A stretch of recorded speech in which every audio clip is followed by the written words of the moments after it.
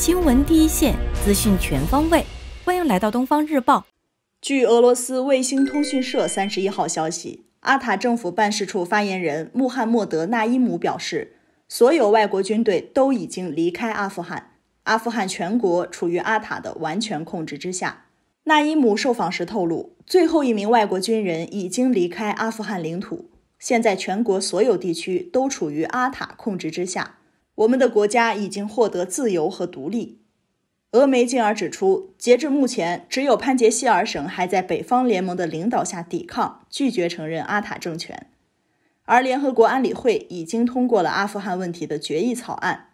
当地时间八月三十号，联合国安理会以十三票赞成、零票反对、两票弃权的结果，通过了一项关于阿富汗问题的决议草案。中国和俄罗斯投了弃权票。决议强烈谴责了八月二十六号发生在喀布尔机场附近的袭击事件，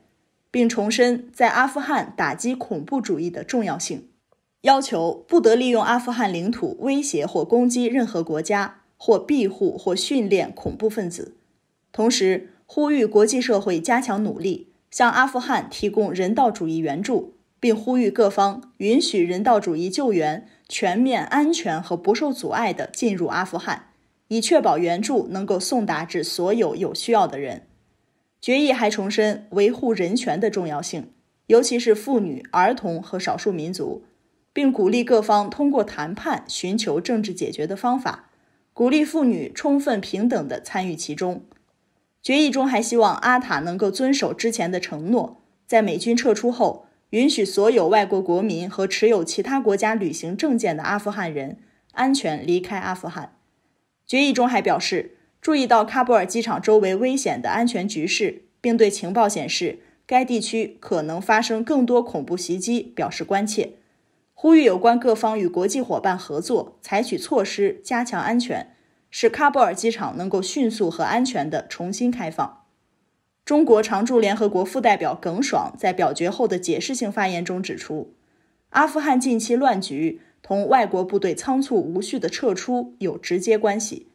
希望有关国家能够认识到，撤出不是责任的结束，而是反思和纠错的开始。当前，阿富汗国内局势已经发生了根本性的变化，安理会结合形势发展进行充分协商，就如何帮助阿富汗恢复和平、稳定、秩序，探寻有效出路，符合国际社会普遍期待。同时，鉴于阿富汗当前局势脆弱敏感，未来走向存在诸多不确定性，安理会采取的任何行动应有助于缓和，而不是激化矛盾，有助于阿富汗局势平稳过渡，而不是重现动乱。有关国家于上周五傍晚散发了决议草案，要求周一就要行动。中方对通过决议的必要性、紧迫性和草案内容的平衡性都有巨大疑问。尽管如此。仍然建设性的参与磋商，并同俄罗斯一道提出了重要合理的修改意见。遗憾的是，我们的修改意见没有得到充分采纳。当地时间八月三十号，美国国务卿布林肯就美国在阿富汗的撤离行动发表讲话。布林肯表示，美国在阿富汗二十年的军事存在已经结束，美国与阿富汗的外交新篇章已经开始。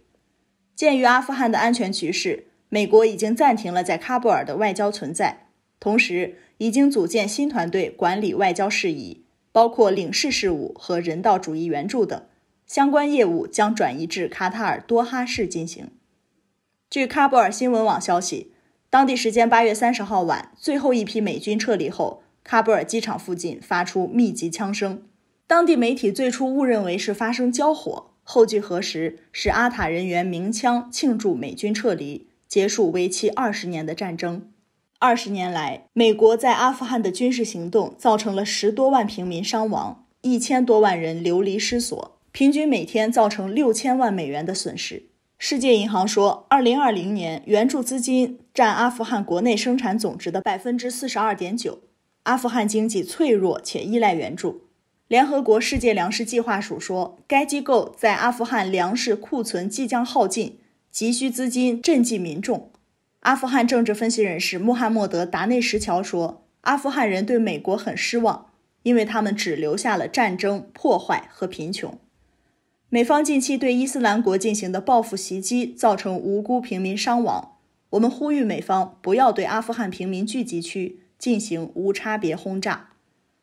面对阿富汗国内形势发生的根本性变化，国际社会有必要同阿塔进行接触，积极引导。国际社会应该向阿提供急需的经济、民生、人道援助，帮助阿新政权构建、维持政府机构正常运行，维护社会治安稳定，遏制货币贬值和物价上涨，尽快走上和平重建道路。中方一贯重视阿富汗打击恐怖主义问题，强烈谴责近期发生在喀布尔的恐怖袭击。此次袭击再次证明，阿富汗战争并未实现清除阿境内恐怖势力的目标。外国仓促撤军很可能给各类拒阿恐怖组织卷土重来提供可乘之机。我们希望喀布尔机场的安全能够得到保障，有关人员的撤离能够平稳顺利地进行，有关各方能够加强协调。共同防范新的恐怖袭击。阿富汗绝对不能再度成为恐怖主义发源地和恐怖分子集散地，这是阿富汗未来任何政治解决方案必须坚守的底线。希望阿塔切实履行承诺，彻底切断同一切恐怖组织的联系。各国应根据国际法和安理会决议，坚决打击伊斯兰国基地组织、东伊运等国际恐怖势力，坚决防止其在阿富汗聚集作乱。在反恐问题上，绝不能奉行双重标准，也不能采取选择性做法。八月二十九号，国务委员兼外长王毅应约同美国国务卿通电话，就阿富汗局势及中美关系等交换意见。布林肯表示，在美从阿撤军撤侨即将结束的关键时刻，美国认为安理会应该对外发出明确声明，统一的声音。美国认为，安理会应该对外发出明确统一的声音，表明国际社会期待阿塔确保外国公民安全撤离，确保阿人民获得人道主义援助，确保阿领土不能成为恐怖袭击策源地，不能成为恐怖主义避风港。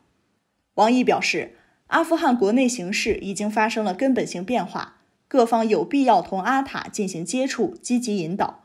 美国。尤其需要同国际社会一道，向阿提供急需的经济、民生、人道援助，帮助阿新政权架构维持政府机构的正常运行，维护社会治安稳定，遏制货币贬值和物价上涨，尽快走上和平重建道路。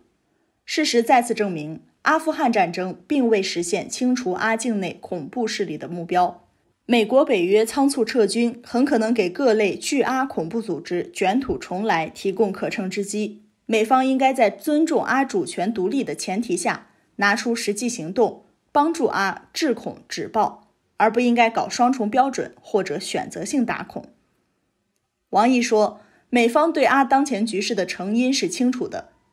安理会如果要采取任何行动，都应有助于缓和，而不是激化矛盾。有助于阿局势平稳过渡，而不是重现动乱。布林肯表示理解并尊重中方在涉阿问题上的关切。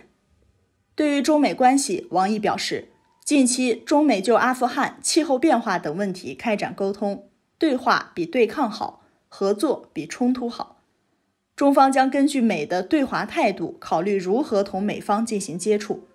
如果美方也希望中美关系重回正轨，就不要再一味的抹黑攻击中国，损害中国主权、安全和发展利益。